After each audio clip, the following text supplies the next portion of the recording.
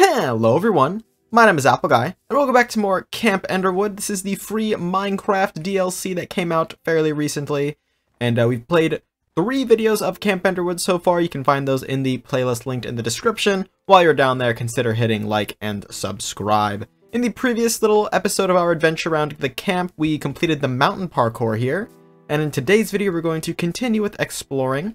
We're going to go ahead and take a quick trip back to the main camp though to take a peek at the map. So we've covered the main camp here, the red dot. That was in um, episode 1. The swamp here and the abandoned camp was episode 2. Mount Enderwood was here in episode 3. So we're going to go to Block Ness Spotting and the Director's Cabin in today's video. And then uh, I think we'll cover the Deep Lagoon and the Lighthouse in a coming video. So let's head back to the mountain because we always like to walk to our next location. We like to explore the environments and there is usually uh, custom music that plays. Right now we have like the default Minecraft music. Um, but usually there's custom music. You know, I think I might be able to trigger it actually if I go back to the main camp. Let's try going back to the main camp real quick. Um, and I hope that will, will cause it to, to go off. Generally, I just have to walk in. Maybe walk back out. Come on, somewhere around here there's going to be a trigger for it. Somewhere around here, eh? Come on. Play the music. Music time, music time. Uh, Friel, how can I get this to, to play? Eh, whatever. We'll just keep going. I'm sure it'll come back at some point. We could probably do like an activity or something to get it started, but let's just go back to the mountain and we can start uh, walking. Nothing wrong with a bit of Minecraft music to enjoy the day. So it looks to me like there's a fishing spot over here. I don't really care about a fishing spot. We've done fishing before. That looks like that takes us back to the main camp area. We fished in episode 2, and um, we fished in the main swamp fishing spot. It looks like down here there's just another little fishing area. And uh, we'll see if this minigame is any different. I'm pretty sure it's going to be the same. Oh, Skip, do you want to fish? Okay, yeah. Oh, I need that back. Skip. Yeah, you just go like this, and it's a lot like fishing in Stardew Valley. Oh, Great, and I caught the devil. Alright, all done. Thank you very much. Now I have two fishing rods and chocolate. Great. Okay. Let's go ahead and carry forth then. Um, although actually wait, this was the block ness spotting, wasn't it? So, can I... Maybe I can drive that little boat. Let's see. So I can go over here. Block ness, I assume, is, uh... Suppose... Oh, shoot! There it is! It's Blocknet. Oh, sorry, Blockness. What'd you say? I'm hungry. Please feed me some cod. Yes. Well, you sense this immediate connection with this beast, and the image is forming in your head. Cod. Does it want cod? Give. Uh, the creature spits a marshmallow in your direction. Why does it have marshmallows? Oh, so you can trade your your fishing uh, cod here, the cod you catch from fishing, with the Block Ness monster. But the Block Ness monster's gone. It disappeared. How did it do that? Is it icy? I guess it makes sense because it's kind of close to the mountain. So I wonder if you can uh, find the block ness monster just sort of around here and continuously trade it some of your your fish. Makes sense. Makes sense. I mean, it doesn't really make sense that it would give you a marshmallow, but it makes sense that you can um you can trade it fish, of course, and it's cool that it's a friendly creature. You know, we wouldn't want it to be unfriendly because that would be sad. I'm curious if we can drive this boat. This boat looks a lot like the boat that we saw at the beginning of the of the map when we first came in uh, to camp. Let's see. Let's drive it. Up. No can do. The boat is not drivable. Can't drive the boat. That's okay. We'll just have to press on. You know, there's that like uh that guy who rates games in terms of if you can uh, pet the dogs in the game. You cannot ride the boat in uh in Camp Enderwood. Okay, so I think at this point we're gonna need to actually go back to the main camp and head out uh, over here to the right. Initially we left to the left of the camp. This should bring us back into the camp in the first place and then take us around to another spot. Yeah, the director's cabin's over that way. You know, I really want to get the music playing though. Let me try doing an activity. Let's do some trampoline. Trampoline was fun. and maybe we can get the um the activity to go again or the music to go because I haven't changed any settings or anything. I mean, I plugged in my controller, that's like fairly normal. I would like the uh, the music to play. I think it's a pretty important aspect. Granted, there's like two music tracks, and we have heard like all of them already, but still. Also, oh, my high score. Does anyone remember what my high score was? It would be from episode one or episode two, maybe. I will say, doing this with casual Minecraft music is uh, a bit of an interesting choice. A bit of an interesting choice. But that's okay. I know um some Minecraft maps have like a way to straight up block out any music that isn't the custom music. And I kind of wish they'd done that here. But that's, you know, not a big deal. We only have 10 seconds left. I don't remember how many uh, bells we got the first time. And, uh, ooh. Oh, final score was... Oh, I have half a heart. That's crazy. Okay, so the sounds do work. I'm gonna die. Where did I sleep last? Camp. yeah, in a cabin out here in the mountains. Okay, let's go back to the main camp. And now let's go ahead and explore over here to the director's cabin. I don't suspect the director's cabin will have too, too much for us, in all honesty. I feel like the director's cabin is more of like a, hey, come take a peek, you know? Not really like a, hey, come stay for a while, come do an activity. Unless the director's cabin just has like, I don't know, an infinite stash of like money or something. Or like all the confiscated camp items, like everyone's cell phone or something.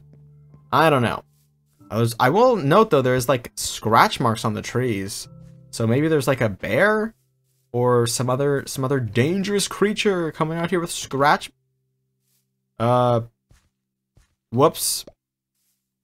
I the scratch marks are paintings. I heard someone describe this map as like the Gravity Falls of Minecraft, and uh, I kind of agree with that. I think that's a fairly, uh, fairly respectable take. I think that makes a lot of sense. Oh, is that custom music? Huh? I don't think it is. I do want to stick to the beaten path, though. Oh, new NPC. Oh my gosh, I thought that was a like a. I thought his hat was his face. I thought his hat was his face. Okay, the director's cabin is up this way. This is the old man. You, you, you young whippersnapper. What are you doing here? You see that marks on the trees? Something's out there. Something fierce. You better watch out. Thank you, old man. I appreciate it. He's, of course, referring to these marks on the trees. Well, we're going to have to figure that out, hopefully in the morning, because right now it is uh, becoming dark, and dark, of course, is not swell with Minecraft RTX. That is, of course, why the, the game looks like this. I am running regular Bedrock Edition, uh, but with an RTX texture pack, which if you're curious about Minecraft RTX, you can leave me a comment, and I will explain Minecraft RTX to you in the comments. Can I make a boat yet? No, I'm missing an anchor. I have everything except the anchor. I have the hull. Oh, I have I have the hull, the mast, the painting. Oh, it's a painting easel. I thought that was the sail. I thought that was the sail. I thought you needed like a boat, hull, a mast, a sail, like a ship wheel or something. But no. Okay, Star Child is up here. Very cool, very cool.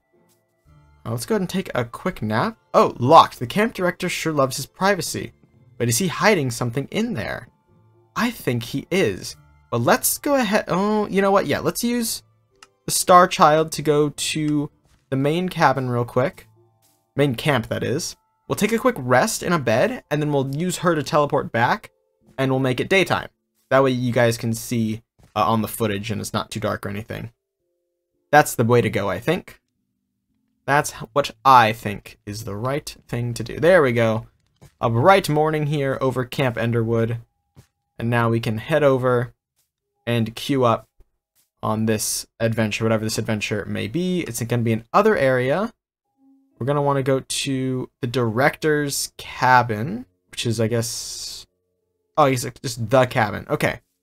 So, we got to see if there's a way to sneak in. It does look like there is a way to sort of pseudo get in. We can kind of peek through. Interesting. But I want to get in, you know? That's going to be the ticket, I think. This looks to be it. Uh oh Oh, no. Hey, the music's back. Wow, took it like 10 minutes, but there's music now. Oh, okay, yeah, we gotta get in there. I think that's gonna be the way to do it. Oh, wait, no, because is that still... Those are still slabs. I thought those were trapdoors or signs. Well, how am I gonna know if he's hiding something in there? I can't get in. I need to unlock the door. Hey, I want in! Starchild, what should I do? How do I get in? Is there even something in there? Can I like... No, this isn't... What do I need to do? Is there a hole in the roof, maybe? Would it be possible for me to get on the roof somehow? I think it might be. Question, of course, is, is the roof useful in any way? Maybe I can't get on the roof. Ow. Come on, surely the cap... Captain's cabin. The director's cabin has something going on, right? Is he a werewolf? He might be a werewolf. Guys, I would put smart money on him being a werewolf, honestly. Oh, come on. I can make this jump. I can do it with a jump. I can do it with a jump. I just have to, like, crouch over to the edge of the block and then not only jump up one, but around one. That is a possible parkour jump, though. I will say, I'm no parkour expert, but I know for a fact this is a possible jump if you just get the right uh, corner. Ah, boom.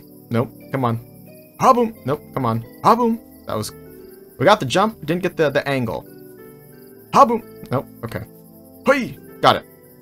Great. Okay. Now I can get on the roof. I'm on the roof! Okay, what does this do for me, though? Starchild, is there nothing in the director's cabin? I need the data. I need the I need the details. I'll tell you what. If we can't get in, I have a second copy of this world that I use for taking thumbnail pictures. So why don't we go ahead and swap over to the thumbnail picture world, and we'll go inside in spectator mode, and we'll see if there's anything. Let's go ahead and do that, because I'm curious what is in this cabin. Alright, I can do you one better than spectator mode. How about proper creative? Let's fly over to here, and we'll just bust in, because I am curious about what is going on here. I will say I will break in through the back, though, because I don't want to ruin what is inside. No, it looks like it is actually empty. So the answer is no, he isn't hiding anything in here. Unless it's like related to... I don't know, maybe... Maybe we have to come here at nighttime and he's like the werewolf or something? That's the only thing I can think of. Because there's no actual way to get in, it looks. Um, because there, these doors are, uh, they are solid doors. Huh, interesting. Okay. What if it's, uh, midnight? Let's try setting the time to midnight. We'll do time set midnight. Alright, middle of the night. Creepiest time of it all. How about now? Is there anything we can do now? It doesn't seem so. It appears this might just be a, um, a little house to, to poke around in. Well, it looks like it is just a normal house. I, I don't know why. I mean, it's clear that, like, he's got something going on. You know what this reminds me of? In the the Quarry, which is a, a Supermassive game. It's sort of in the style of Until Dawn. It's rated uh, M for mature, so if you are not an M for mature audience, don't Google the game. But I will tell you that the plot of that game, spoilers in three, two, one, is that the uh, the camp director is a werewolf. And so that's kind of like the vibe I'm getting from this. Is like, the camp director is a werewolf, but I don't actually know if that's what we are meant to take away or not. The old man down there seems to kind of hint at that, and the star child saying like, maybe he has something in there.